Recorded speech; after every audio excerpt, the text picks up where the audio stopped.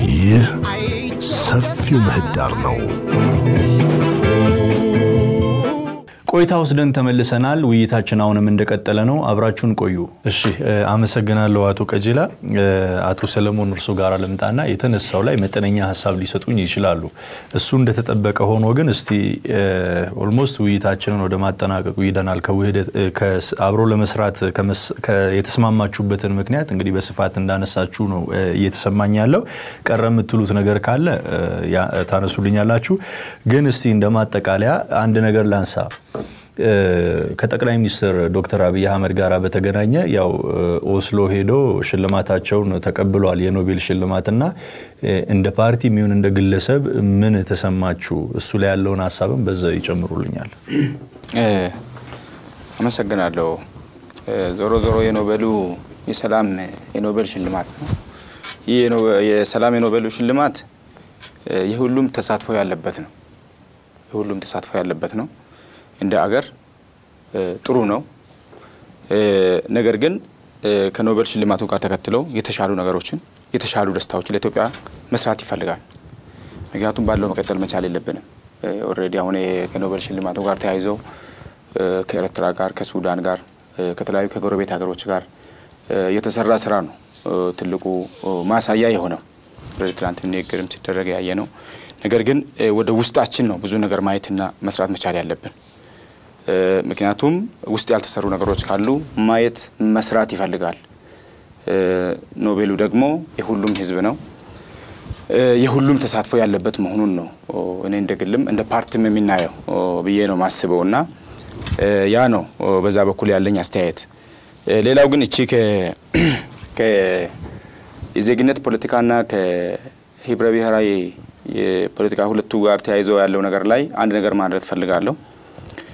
ትልቁ ነገር ህብረ ብሔራዊነቱ ሁሉም ኢትዮጵያ የራሱ ቋንቋ የራሱ ባህል አለው።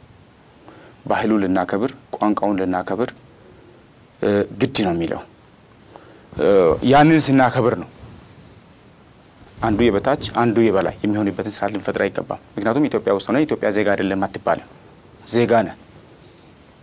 ዜጋ ሆነ ዜጋ የምትጠየቅ ከሆነ ራሱ እኔ ጥያቄ አለኝ። ዜጋ ሆነ ሌላ ዜግነት ልትጠየቅ አይገባም። ምናልባት ክሊር እንዲሆንሎት እና መልስ እንዲሰጡበት እንትን ላድርግ። ይሄ የዜግነት ፖለቲካን ያቀነቅናሉ የሚባሉ ሰዎች እዚህ መድረክ ላይ በተለያዩ መድረኮች አይቻቸው ስለማቅ የሚያነሱት ነገር ምንድን ነው? አሁን እኔና እርሶ ዜግነታችን ኢትዮጵያ ስለመሆን አለመሆኑ ክርክር መግጠም አይደለም። ለምሳሌ አቶ ሰለሞን አየለ ሰው በመሆኑ ብቻ እርሶን ካከበርኩኝ የሚናገሩትን ቋንቋ አከብርሎታለሁ፣ የሚከተሉትን ሃይማኖት አከብርሎታለሁ፣ ባህል የኖሩበትን ባህል አከብራለሁ። ይሄ ነው መነሻው። ምንድን ነው መሆን ያለበት? እርሶን በሰውነት መቀበል ነው ያለብኝ። በሰውነት መነጽር አይቼ እርሶን ከተቀበልኩ ሌላው መቀበል አይከብደኝም የሚል እሳቤ ነው። ይሄኛው ነው እንጂ ከኢትዮጵያዊነት የመናዊ፣ ኤርትራዊ የሚለው ጋር አይደለም እሱን ለማለት አዎ እሱ ጋርም ቢሆን አንደኛ ትልቁ ማየት መቻል ያለብን ከዜግነት ፖለቲካ ጋር ተያይዞ ያለው ነገር እያልን ያለ ነው የሰዎች መብት አልተከበረም።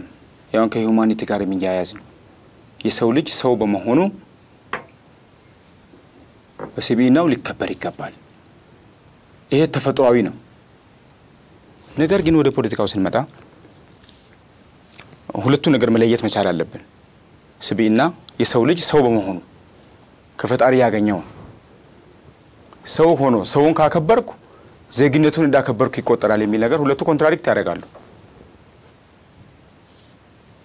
ምክንያቱም ለሰው ልጅ የተሰጠ ጸጋ ነው ይሄ። ይሄ ደግሞ የሰው ልጅ ባህሉን ካከበርክለት፣ ቋንቋውን ካከበርክለት ብሔረሰቡን አከበርክ ማለት ምክንያቱም አሁን ባለፉት 27 ዓመታት ያሳለፍነው ታሪክ አለ። በይ አለ፣ የበይ ተመልካች አለ፣ የመብት ተጠቃሚው አለ፣ መብት የሚጠብቅ አለ፣ ጠያቂ አለ፣ የሚፈጸምለት አለ። ሁለቱን ነው ሲያካሂድ የቆየው። ያ አሁን መፈጠር መቻል የለበትም። ያ መች የሚመጣ ነው? የእኩልነት መብት ሲረጋገጥ ነው። ትልቁ መስራት ያለብን የእኩልነት መብት እንዲረጋገጥ ነው። ግን እንትን አይደለም ታዲያ አቶ ሰለሞን ማለት እሱ ከተነሳ እንደውም እኮ ካለፉት ጊዜ በተሻለ ባለፈው 27 ዓመት ይሄ የብሔር ብሔረሰብ እኩልነት የሚለው በወረቀት ደረጃ የተቀመጠበት ይብዛም ይነስም የራሱ መብት የተገኘበት ለምሳሌ ሰዎች በቋንቋቸው መማር የቻሉበት ባህሎቻቸውን እንዳሻቸው ማድረግ ብዙ በርካታ ነገሮች አሉ። ይሄ እኩልነቱ ያመጣው ነው። እኩልነቱ በተባለው በተጻፈው ልክ ተተግብሯል አልተተገበረም የሚለው ሌላ ጥያቄ ነው። ማለት ባለፉ 27 ዓመት እኮ 27ም አይደለም ባለፉ የኢትዮጵያ ታሪኮች አንድ ሰው በሰውነቱ ተከብሮ አያውቅም የሚል እሳቤ ነው ያላቸው እነዚህ ሰዎች። ማለት ቅድም ምንድን ነው ያነሳሁት አንድ ሀሳብ እነሱ የሚሉት ለምሳሌ አቶ ሰለሞን አየለ በአቶ ሰለሞን አየለነታቸው ከተቀበልኳቸው እሳቸው ብዙ ነገር ታሪክ አለ ከእርሶ ጀርባ ላይ የኖሩበት አኗኗር አለ፣ ሃይማኖቶት አለ፣ ቋንቋዎት አለ፣ ሁሉ ነገሮት ይከበራል። መብት ደግሞ አሁን እርስዎ እንዳሉ ይሄኛው ተፈጥሯዊ ወይንም human right የምንለው ብቻም ሳይሆን ዴሞክራሲያዊ መብትም አለ አይደለ? ዴሞክራሲያዊ መብትም በግለሰብ ደረጃ መብቱ መከበር አለበት።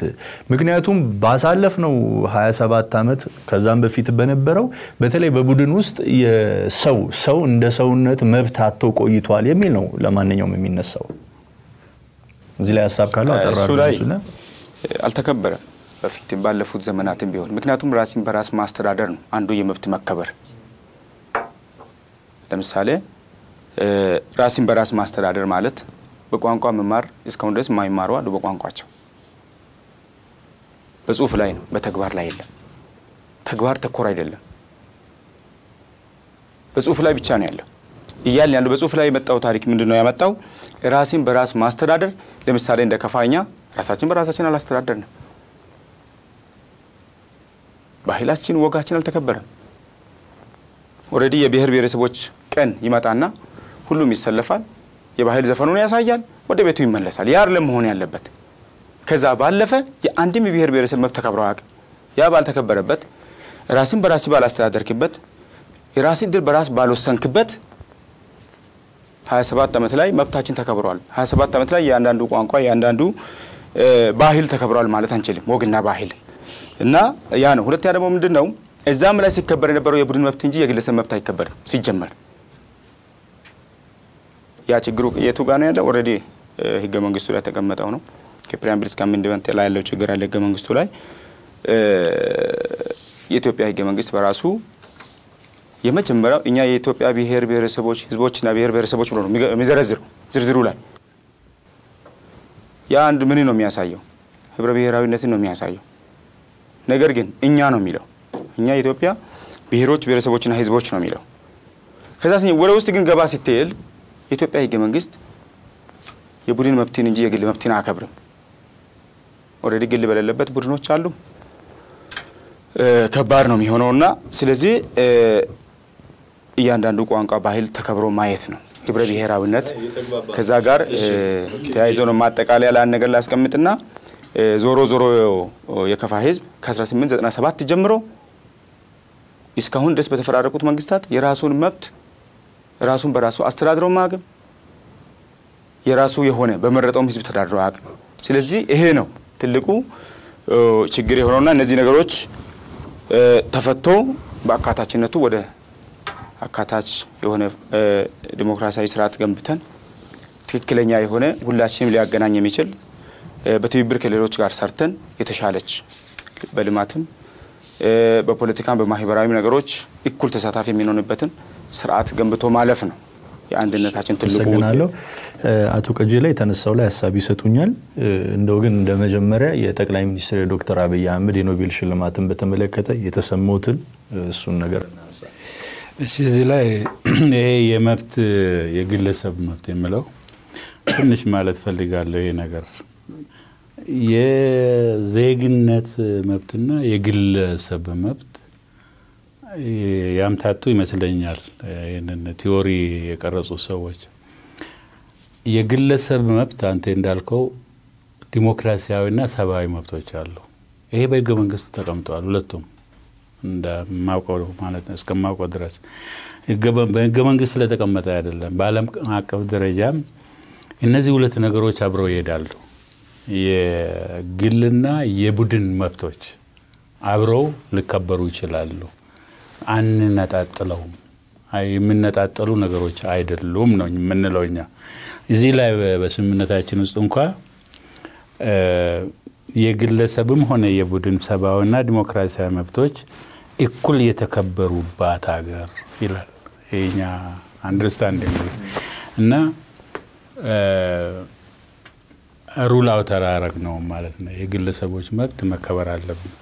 እዚህ ላይ ግን አንድ መታወቅ ያለበት ብዙ ጊዜ የግለሰብ መብት ተብሎ ይሄ የ liberal democracy የ western ምዕራባውያንን ዲሞክራሲ የሚያቀነቅኑ ሰዎች አሁን አሜሪካን ካየ ነው በኢትዮጵያ ህብረተሰብ ውስጥ ያሉት ህብረተሰቦች እና አሜሪካ ያለው ህብረተሰብ አንድ አይደለም። እኔ እንኳ እዛ መሬት ባልረግጥም ታሪኩና አኗኗራቸውን፣ ባህላቸውን፣ ግንኙነታቸውን ሳይ አንዳንድ ጊዜ የእብዶች አይነት ኑሮ የሚመስል ነው ስንሰማ ማለት ነው። የግለሰብ መብት ተብሎ ልቅ የሆነ ብዙ ነገሮች ወግ ያልተከተሉ በዚህ ሀገር ውስጥ ያልተለመዱ ኢትዮጵያ ውስጥ ያልተለመዱ ለምሳሌ እዛ ብዙ በርካታ ነገሮች ለዚህ ሀገር የማይጥሙ ብዙ ነገሮች አሉ።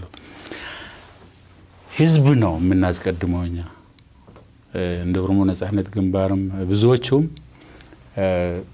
ከመጀመሪያውም ለህዝብ ነበር ትግል የተጀመረው። ህዝብን ነጻ ህዝብን ለህዝብ ነጻነት ነው እንጂ ለግለሰቦችን individual ን promote ለማድረግ ወይንም ለማበልጸግ ወይንም empower ለማድረግ ወይንም ግለሰቦች ተብሎ አይደለም። individualism እንዲያውም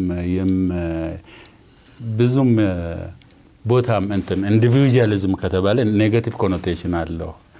ለሰዎች ነጻነት፣ ለህዝብ ነጻነት ለሚታገሉ ኃይሎች ይሄ ግለሰባዊነት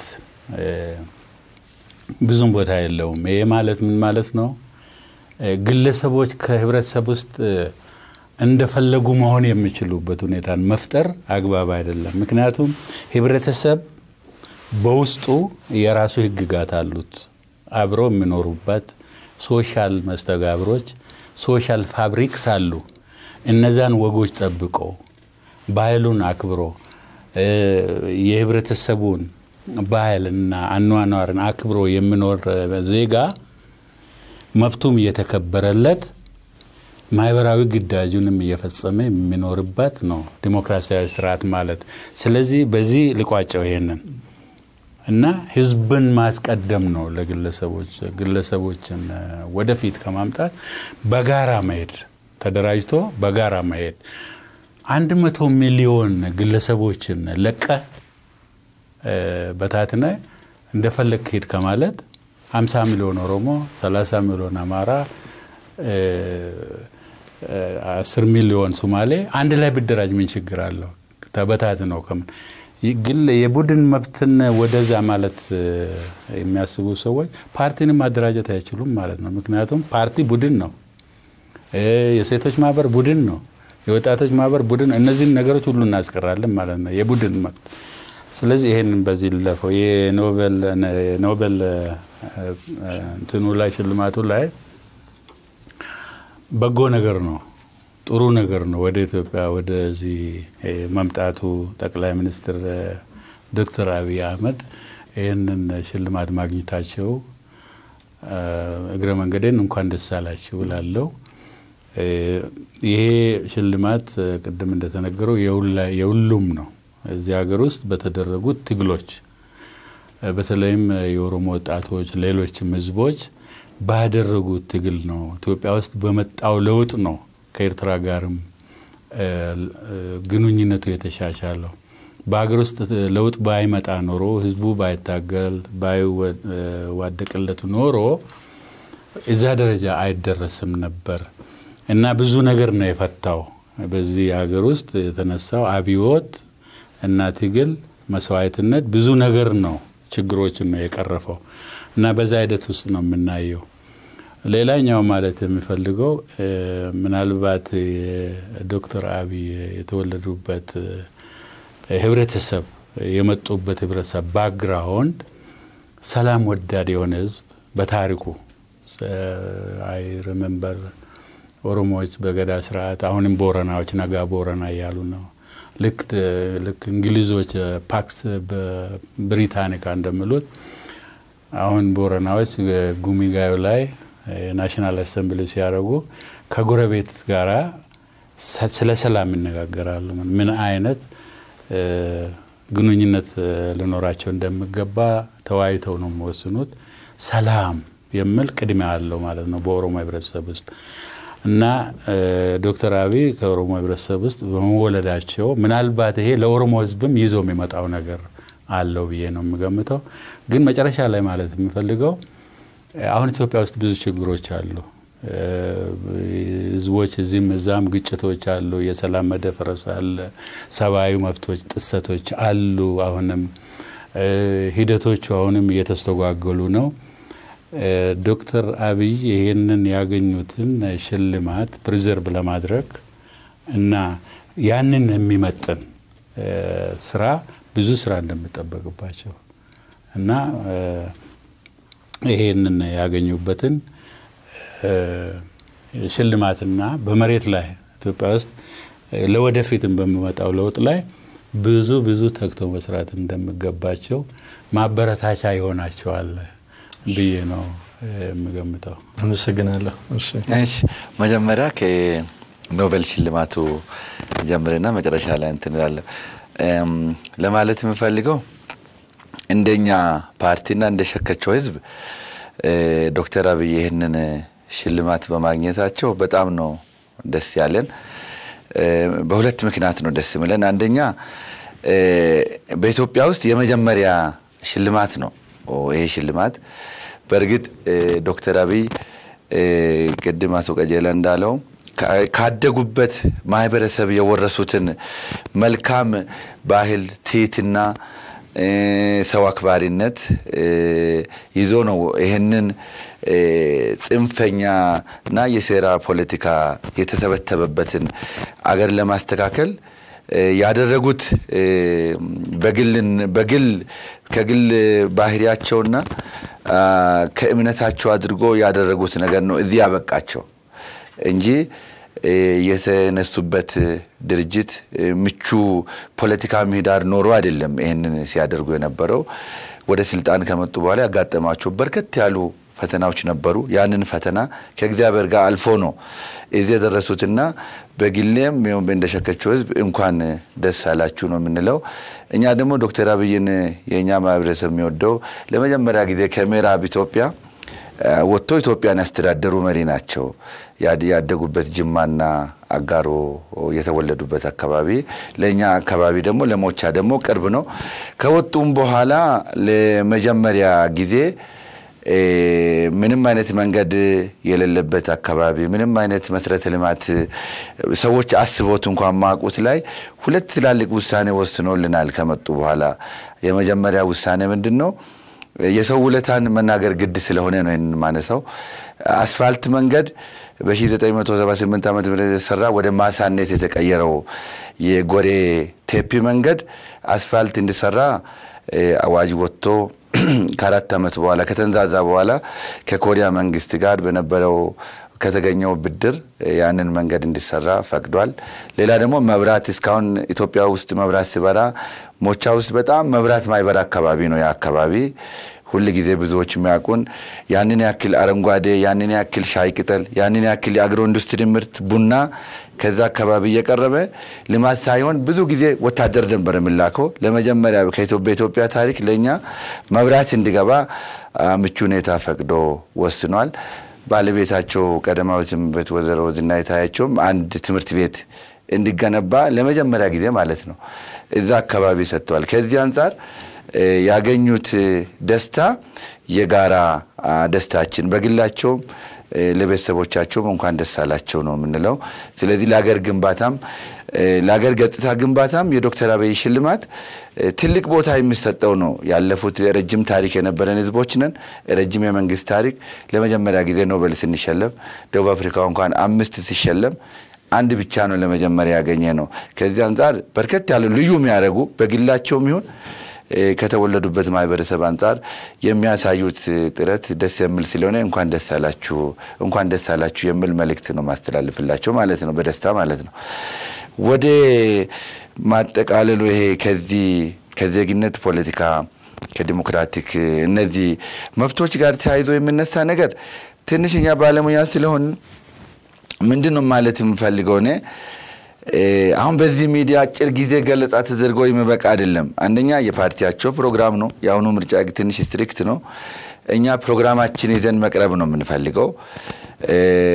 ሌላ ተፎካካሪ ፓርቲም ፕሮግራሙን ይዞ አማራጩን ለዳኛው ሕዝብ እንዲያቀርብ ነው በዋናነት እኛ ጥረት የምናደርገው። ይሄ ስብስቡ ከዚህ በኋላ ኢትዮጵያ ውስጥ ተንሰራፍቶ የቆየው የሴራ ፖለቲካ፣ ፍትሃ ያልሆነ የልማት ስርጭት፣ ፍትሃ ያልሆነ የስልጣን ውክልና፣ ፍትሃ ያልሆነ የሰው መብት ረገጣ፣ ሰብአዊ መብት ረገጣ፣ ዲሞክራሲያዊ መብቶች ረገጣ እንዲወገድ አዲስ ምዕራፍ ይዘን ተሰባስበን አዲስ ምዕራፍ ይዘን እንመጣለን ብለን ነው ወደ ስብስቡ የገባ ነው። ከዚህ አንጻር አሁን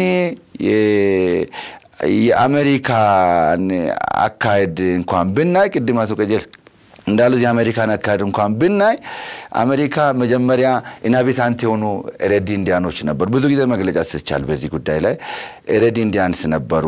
inhabitant ናቸው እነሱ። ከዛ በኋላ እነሱ አሁን ታሪኩ ብቻ ነው ያለ እንጂ የሉም። አሁን ከተለያየ ሀገር ተሰባስበው ሰዎች የመሰረቱት ሀገር ነው። ኢትዮጵያ ውስጥ ደግሞ በርከት ያሉ indigenous የሆኑ ህዝቦች አሉ። የራሳቸው ቋንቋ፣ የራሳቸው ባህል፣ የራሳቸው እምነት፣ የራሳቸው ጂኦግራፊ የራሳቸው ማንነት የራሳቸው ወግ ያላቸው ህዝቦች አሉ። ስለዚህ ይህንን አሁን እዚህ እናደርጋለን ካልን ትንሽ ይከብዳል። ከ right ም አንጻር አሁን ዝም ብሎ እዚህ እንትን የሚደረግ ሳይሆን law school እንኳን በርከት ያለ theory ያለውን individual right ይባላል፣ democratic right ይባላል፣ collective right ይባላል። አሁን ብዙ ጊዜ ኢትዮጵያ ውስጥ collective right አገር ይበትናል፣ collective right ን ተግባራዊ ማድረግ የለብንም፣ exercise ማድረግ የለብንም ከሚል የሚመነጭ ነገር ነው። ስለዚህ collective right እንዴት ነው exercise የሚደረገው? እንዴት ነው በህገ መንግስቱ ላይ recognized የሆነው እንዴት ነው implement የተደረገው ከሚለው አንጻር በደንብ ሰፋ ተደርጎ research based የሆነ መልስ ሀሳብ ቢቀርብ እንጂ ፕሮግራማቸውንም ሳናይ እነሱንም ደግሞ የእኛንም ደግሞ ሳይታወቅ በዚህ መልክ እንደዚህ ያለ ክርክር ጎራ ተፈጥሯል ተብለን ክርክር ባይሆን ጥሩ ነው የሚል ነው። በዚህ right ጋር ተያይዞ ያለውን ነገር የምለው መጨረሻ ላይ ይሄ ነው በቃ በዋናነት ቀጥ ሌላ ምርጫን በተመለከተ ነው። አሁን ጠቅላይ ሚኒስትሩ ይሄ ሽልማት የመጀመሪያው ነው፣ አዲስም ነው፣ ጥሩ ነው፣ ያበረታታል። ግን አሁን assignment ነው ትልቅ የሆነ assignment ነው የተሰጣቸው። ዓለም ማህበረሰብ ትልቅ የሆነ assignment እንደሰጥ ቅድም ጠዋት ሲመጣ አንድ ቢሊዮን ህዝብ በሚዲያ ተከታትለዋል ብሎ መግለጫ ሲሰጡ አይቻለሁ። ይሄ እንግዲህ አንድ ቢሊዮን ህዝብ ከክቡር ጠቅላይ ሚኒስትር ዶክተር አብይ ብዙ ነገር ይጠብቃል። በዋናነት ግን በዋናነት እዚህ ሀገር ያለው ችግር እንዲፈታ ቀጣዩ ምርጫ ነው። ያልተጭበረበረ ሰላማዊ ዲሞክራሲያዊ ማድረግ ነው ዋናው ነገር፣ ትልቁ assignment ማለት ነው። ምርጫ ካለ ሰው የሚፈልገውን ከመረጠ፣ ሰው በሚፈልገው ከተተዳደረ፣ አሁን ያሉ ግጭቶች ሰው ወደሚፈልገው ከተተዳደረ ሰላም ይሆናል ሁሉ ነገር። የሰው ፍላጎትን ማሟላት፣ የፖለቲካ ፍላጎትን ማሟላት፣ የህዝቡን ፍላጎት ከምንም በላይ ከፖለቲካ ፍላጎት ህዝቡ ምን ይፈልጋል የሚለውን ለመስራት ቀጣው ምርጫ ዋነኛው የመደላደያ መንገድ ስለሆነ ለሰላም፣ ለልማት፣ ለዲሞክራሲ ዋና ምሰሶ ስለሆነ እሱ ላይ ቀጣይ ጥሩ ይሰራሉ ብዬ አስባለሁ። አመሰግናለሁ። እናንተም እንዳነሳችሁት የጠቅላይ ሚኒስትሩን የኖቤል ሽልማት በተመለከተ ሽልማቱ እንግዲህ ለብዙዎች ደስታን የፈጠረ እንደሆነ ይታወቃል። እናንተም እንግዲህ ቅድም ስታነሱ ሽልማቱ የጋራችን ነው፣ የአብዛኞቹ ኢትዮጵያውያን ነው። ለውጡ ሲመጣ ለለውጡ የታገሉ እሳቸው በለውጡ ውስጥ የመጡ መሪ ስለሆኑ በርካታ ስራዎችን ሲሰሩ እንግዲህ ይሄ ሁሉ ተደምሮ ነው እሳቸው ለዚህ የበቁትና ሽልማቱ የሁሉም ነው የሚል ሀሳብ ከእናንተ ጋር እንደተነሳ ቅድም ሰምቻለሁ። እውነት ነው። ይሄም የሚያስኬድ ነገር አለው። ጠቅላይ ሚኒስትሩ እንደውም የኢትዮጵያን ብቻም ሳይሆን የኤርትራን እንዲሁም የአፍሪካ ሕዝቦች ሽልማት ነው የሚል ነገር ማንሳታቸውን ካልተሳሳኩኝ ሰምቻለሁ። እንግዲህ እነዚህ ነገሮች ስንመለከት ሽልማቱ የጋራ እንደሆነ ካመንንና ከወሰድን ከሽልማቱ ደግሞ የሚጠበቁ ወይንም ደግሞ almost ወደ አንድ ቢሊዮን የሚሆን የዓለማችን ህዝብ ይህን ጉዳይ ተከታትሎታል። ከኢትዮጵያ በርካታ ነገርን ከእንግዲህ ይጠብቃል። በተለይ በሰላም ዙሪያ ብዙ ይጠበቅብናል ብለን ካልን ሽልማቱ የጋራችን ነው እንዳልን ሰላማችንንም ደግሞ በጋራ መጠበቅ ይጠበቅብናል። ስለዚህ ሁሉም እንግዲህ የበኩሉን አስተዋጽኦ ማድረግ እንዳለበት ነው የሚሰማን። በተለይ የፖለቲካ ፓርቲዎች እናንተ በዚህ ሽልማት ዙሪያ የጋራ ነው ሀገራዊ ነው ብላችሁ ካመናችሁ በስራችሁ ያሉ ተከታዮቻችሁን ለሰላም ስራ እንዲሰሩ አስተዋጽኦ እንዲያደርጉ መምከር፣ ማበረታታት፣ ማስተማር ይጠበቅባቸዋል በሰፊው ማለት ነው። እንግዲህ ተመልካቾቻችን በሽልማቱ ዙሪያ ደስታ እንደተሰማችሁ በተለያየ መንገድ ስትገልጹ እንደከረመ ይታወቃል። ይሄ ደስታ እንግዲህ ዘላቂ እንዲሆን የመጨረሻው ደስታ የኢትዮጵያን ደስታ እንዲሆን የመጨረሻው ሳቅ የኢትዮጵያን ሳቅ እንዲሆን ሳቃችን እንዳይነጠቅ ደስታችን እንዳንቀማ ሁላችንም ሰላማችንን በያለንበት ሆነን ልንጠብቅ እንደሚገባ ዝግጅት ክፍላችን መልእክቱን ያስተላልፋል። ለዛሬ ያዝነው የሰፊው ምህዳር መሰናዶ የተከታተላችሁትን ይመስል ነበር። ሳምንት በሌላ ርዕሰ ጉዳይ እንገናኛለን። እስከ ሳምንት መልካም ሳምንት ይሆንላችሁ። ይህ ሰፊው ምህዳር ነው።